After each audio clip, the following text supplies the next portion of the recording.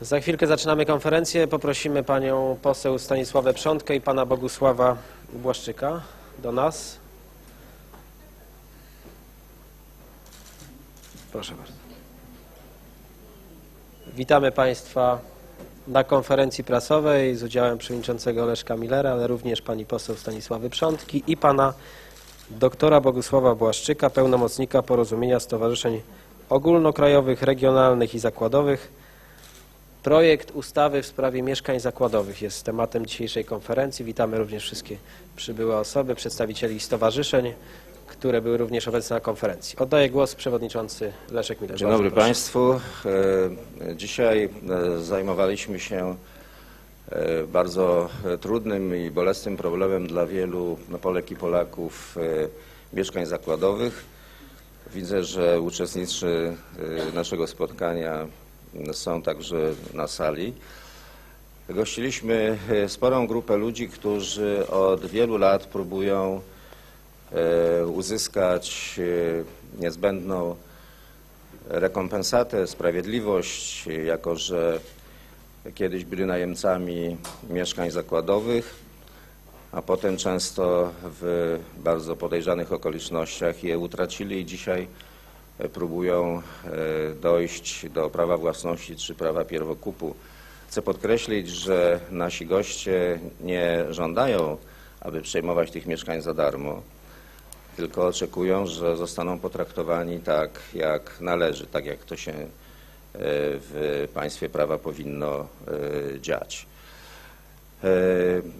Państwo opracowali projekt ustawy, który Sojusz Lewicy Demokratycznej przekaże do Laski Marszałkowskiej i e, potem wraz z innymi e, klubami będziemy się starali, żeby przyjąć takie prawo, które wyjdzie naprzeciw oczekiwaniom e, państwa, albowiem jestem głęboko przekonany, że państwo polskie jest to winne swoim obywatelom. A jeśli chodzi o szczegóły, to tutaj mamy pana, który jest rzecznikiem tej sprawy. Bardzo proszę o zabranie, Błaszczyk. zabranie głosu. Pan Bogusław Błaszczyk. Dziękuję bardzo. Proszę Państwa, trudno powiedzieć jest krótko i powiedzieć na temat i o wszystkim. No niestety tutaj te ramy naszej konferencji na to nie pozwalają, dlatego ja chciałem tylko powiedzieć no może najważniejsze jakieś sprawy. Myśmy się zwrócili właśnie z takim projektem ustawy. Zresztą przez wiele kadencji już my o to walczymy i no jakoś tak y, ze zmiennym szczęściem. Zawsze dochodzimy do końca, a później zawsze brakuje czasu na podjęcie ostatecznej decyzji i przechodzi to na następną kadencję i zaczynamy z powrotem od początku. Mm, Proszę Państwa, sprawa dotyczy y, faktycznie reprywatyzacji, to znaczy uzyskania przez y, najemców y, tytułu własności formalnego, bo oni są właścicielami. I jakoś to ciężko idzie jak po grudzie. Proszę Państwa, taki sam problem na przykład jest, dotyczy nieruchomości warszawskich, y, które znaleziono jednak rozwiązanie na to. I tam występuje tylko taka różnica, że tam właściciel w kamienicy, przypuśćmy, nie mieszka w tej kamienicy albo jest w kraju lub poza krajem, ale mm, i oczywiście należą mu się prawa własnościowe. Natomiast y, w tym jego kamienicy mieszkają najemcy, którzy faktycznie nie posiadają tytułu własności. I jednak znaleziono y, tutaj y, rozwiązania. Natomiast, choć ci, tamci najemcy także odzyskali to z pewnych tytułów za pracę, ale to nie jest, raczej jako najemcy występują. Natomiast w naszym przypadku my występujemy jako, jednocześnie jako najemcy i jako właściciele. Czyli w tym lokalu mieszka właściciel i tylko nie posiada formalnego tytułu własności. I to y, poza tym dużo zrobiono różnych y, rozwiązań bardzo niekorzystnych, ale w sumie trzeba powiedzieć, że prawo jest y, właściwe i że mamy y, pełną jakąś taką tytuł własności uregulowanej prawnie. Niemniej jednak wykonanie tego prawa no, ciągle kuleje. Przez pewien okres wmawiano nam, że nie mamy tytułu własności. Poza tym nie można regulować na podstawie ustawy, która weszła później w życie, jak to miało, jak te były zdarzenia w stosunku do tych zdarzeń. Proszę Państwa, aż tę sprawę wyjaśnił y, Sąd Najwyższy w trzech wyrokach. Wyroku 17 grudnia 2009, wyroku z 22 lipca 2010 i wyroku z dnia 8 lutego 2011 roku. I jednoznacznie powiedział, że te przepisy, a głównie chodziło o ustawę z 15 grudnia 2000 roku, która tak rozwiązywała to kompleksowo ten problem. Pozytywny oczywiście dla y, najemców, którzy byli właścicielami tych mieszkań. I, i dlatego nie wykonywano tego, powiedziano, że ustawa nie działa wstecz. Dopiero jak y, sąd w tych właśnie y, postępowaniach kasacyjnych stwierdził jednoznacznie, że y, ustawa działa niestety wstecz i y, że te uprawnienia, które tam są zapisane, mają charakter retroaktywny i obowiązują bez względu na czas. I drugą ustawą oczywiście jest ta ustawa y, z 7 lipca 2005 roku, która faktycznie to jest taka ustawa roszczeniowa. Już mówi, jak uregulować ten problem. I, ale tak samo mówiono, że ona nie działa wstecz, ponieważ tamta podstawowa też nie działa i dlatego nie można tego rozwiązać. Proszę Państwa, nie dochodzi do najważniejszej w tych procedurach postępowania legislacyjnych, nie dochodzi do y, debaty merytorycznej. Nie sposób jest cokolwiek proponować, jeśli się nie uwzględnia, jaka jest regulacja aktualna. A a aktua- aktualna re- regulacja przemawia za właśnie najemcą, poszkodowanym najemcą. Wobec tego no, raczej się omija to wszystko, tę, tę debatę. I od tego trzeba by zacząć i realnie faktycznie e, działać. Dziękuję, dziękuję Proszę bardzo. Jeszcze pani poseł Stanisława Przątka podsumuje. Bardzo proszę. Szanowni Państwo, około 200 tysięcy rodzin mieszka w mieszkaniach zakładowych i ci najemcy chcą dzisiaj mieć uporządkowaną sprawę, chcą wykupić mieszkania na własność zgodnie z przysługującym im prawem, ponieważ oni są współwłaścicielami tych mieszkań, bowiem te mieszkania zakładowe były budowane w oparciu o fundusz mieszkaniowy mieszkań zakładowych, który w 1994 roku został zlikwidowany. Dzisiaj te rodziny chcą mieć stabilną sytuację, chcą mieć gwarancję, że w tych mieszkaniach mogą mieszkać oni, ale także ich następcy prawni.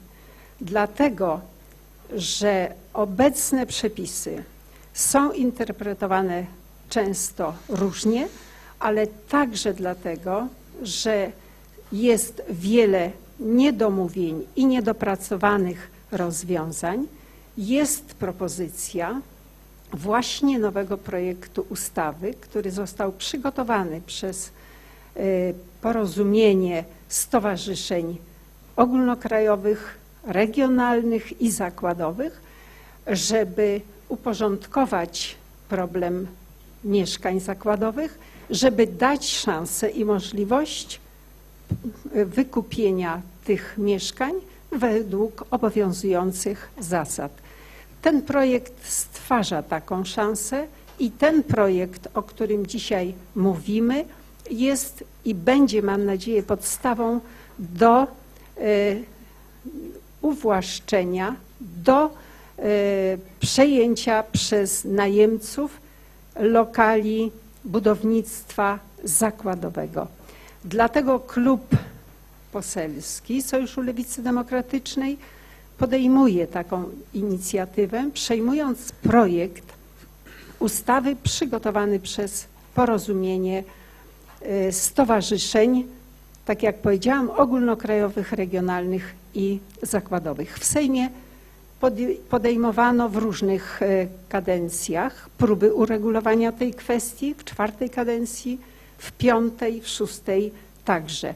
Nigdy te rozwiązania nie zostały finalnie zakończone. Tym razem chcemy, pracując ponad podziałami, namawiać i zapraszać także do współpracy inne kluby, doprowadzić ten problem do uregulowania w ogólnym ujęciu, w ujęciu ustawowym i uporządkować kwestię możliwości wykupu mieszkań zakładowych przez dotychczasowych najemców. Bardzo dziękuję pani poseł. Do końca tygodnia projekt ustawy zostanie złożony, a teraz bardzo proszę, jeśli są pytania, pani redaktor Rucińska jako pierwsza. Dzień dobry. Agnieszka Rucińska, Polskie Radio. Ja chciałam zapytać pana przewodniczącego, jak to w końcu było wczoraj na tym spotkaniu z Aleksandrem Kwaśniewskim.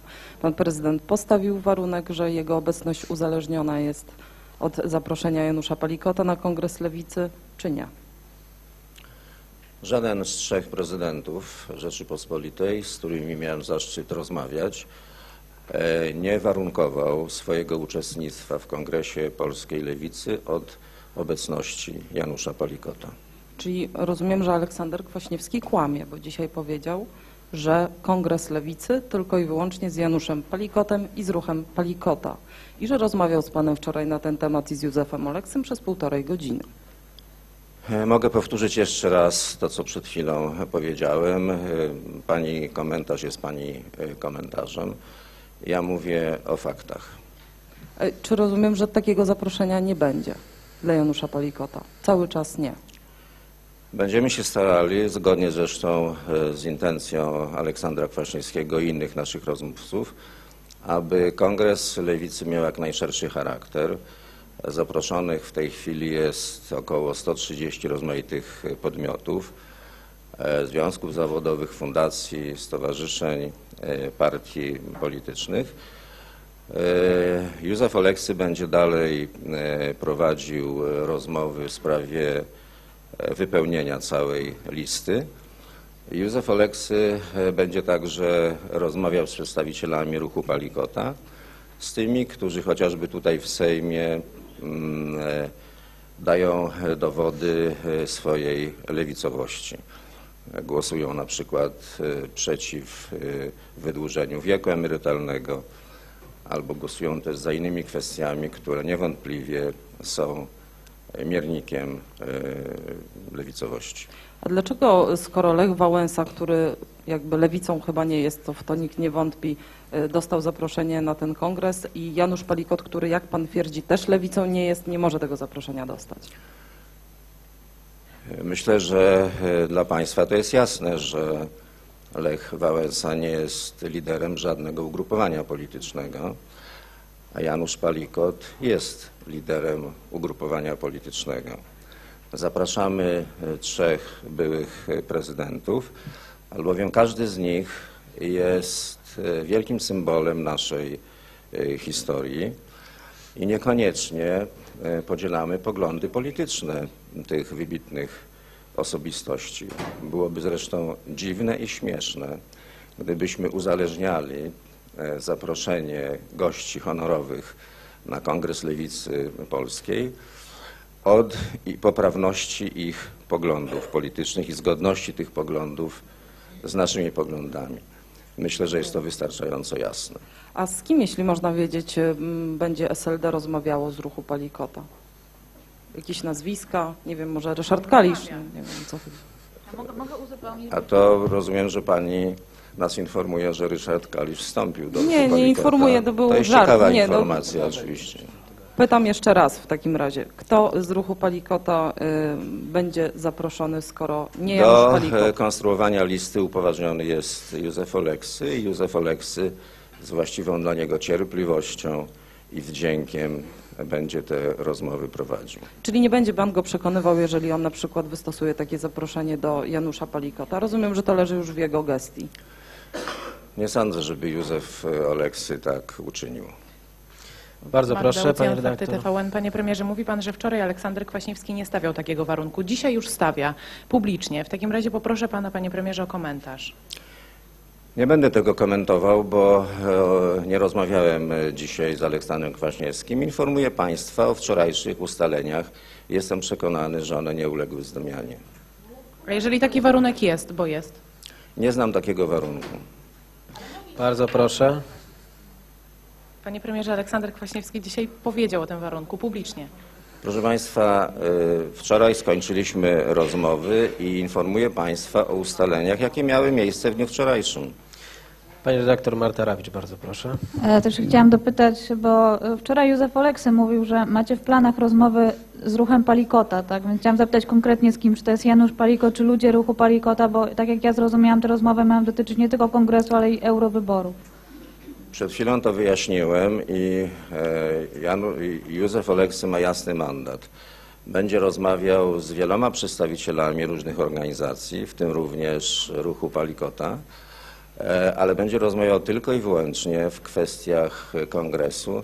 W żadnym wypadku mm, e, skonstruowania wspólnych list wyborczych czy jakiejkolwiek instytucjonalnej współpracy. Bardzo proszę, pani redaktor. Dominika Długosz, Polsat News. Panie premierze, pan wybaczy, ale ja nie do końca rozumiem, chyba. E, e, Jeżeli Józef Oleksy będzie rozmawiał z ruchem Palikota w sprawie kongresu, to możemy się spodziewać ruchu Palikota na kongresie Lewicy. Możecie Państwo spodziewać się wielu ludzi, e, którzy dzisiaj działają w różnych ugrupowaniach politycznych i którzy mm, swoją postawą, swoją działalnością nie dają żadnych wątpliwości, że są związani ze społeczną lewicą. A ruch Palikota te wątpliwości daje. Jeżeli Państwo popatrzą na e, głosowania w Sejmie, e, to macie Państwo jasny obraz, e, jak poszczególni posłowie ruchu Palikota głosują za rozwiązaniami, które niewątpliwie są lewicowe. I Państwo dobrze wiedzą, że to są często głosowania niejednomyślne. To ja nie rozumiem, o czym Józef Oleksy będzie z ruchem Palikota rozmawiał. Trudno. Panie redaktorze, bardzo proszę. Dzień dobry, Tomasz Frankowski, Teleekspres, Telewizja Polska. Panie Przewodniczący, w takim razie co jest wyznacznikiem tej lewicowości, skoro Pan mówi, że ruch Palikota głosuje tak jak partia lewicowa, ale uznajecie, że jednak tą lewicą nie jest? A drugie, chciałem to, co gdzieś Pan chyba rano mówił, co to znaczy, że Janusz Palikot jest jak cyganka?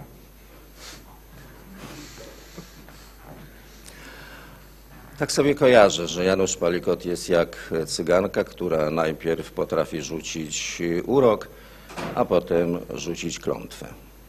Dobra, a co do wyznacznika tej lewicowości ruchu Palikota?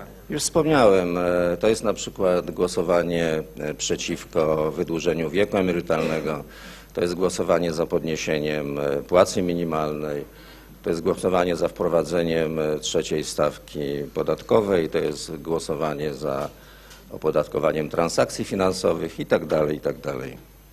Magda Lucjan, Fakty TVN. Panie premierze, raz jeszcze. Czy mogę pana poprosić o jasny komunikat? Czy wyklucza pan obecność Janusza Palikota na kongresie Lewicy, czy uzależnia pan to od decyzji premiera, premiera Oleksego? Proszę Państwa, jeszcze raz powtórzę. E, Ani Aleksander Kwaśniewski, ani inni nasi rozmówcy nie warunkowali swojego, swojej obecności na kongresie Lewicy uczestnictwem w nim Janusza Palikota. Natomiast e, w rozmowie z Aleksandrem Kwaśniewskim e,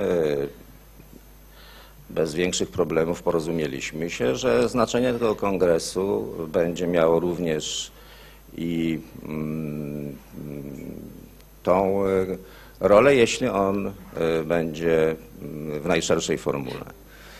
E, I poprosiliśmy, czy ja poprosiłem Józefa Oleksego, żeby dalej kontynuował swoje w tej sprawie wysiłki, swoje w tej sprawie rozmowy. Lista nie zostanie zamknięta ani jutro, ani pojutrze, choć musimy się oczywiście do końca zbliżać. Kongres, jak Państwo wiedzą, zostanie, zostanie s- zorganizowany 16 e, czerwca.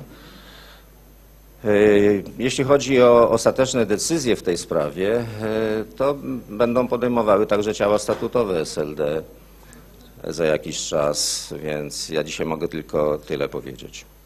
Pani Ale osobiście uważam, że Janusz Palikot na tym kongresie nie powinien być obecny. Dziękuję bardzo. Czy inne pytania? Bo taka,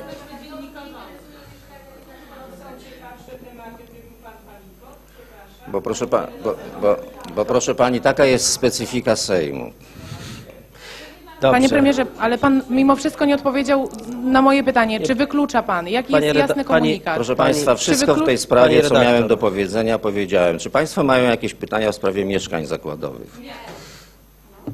Jeszcze pan redaktor, bardzo proszę. Panie pro- Trochę takie poboczne pytanie odnośnie tego, co moje koleżanki pytały. Co pan zrobi, jeżeli e, w tej sytuacji obaj prezydenci, Wojciech Jaruzelski i Aleksander Kwaśniewski- Kwaśniewski, nie przyjmą zaproszenia? Przyjęli już zaproszenie. Wczoraj, wczoraj dowiedzieliśmy się, że zaproszenie jest przyjęte i nie widzę e, żadnych oznak, które by tą e, decyzję zmieniały. Dobrze, dziękujemy bardzo za udział w konferencji. Dziękuję. bardzo.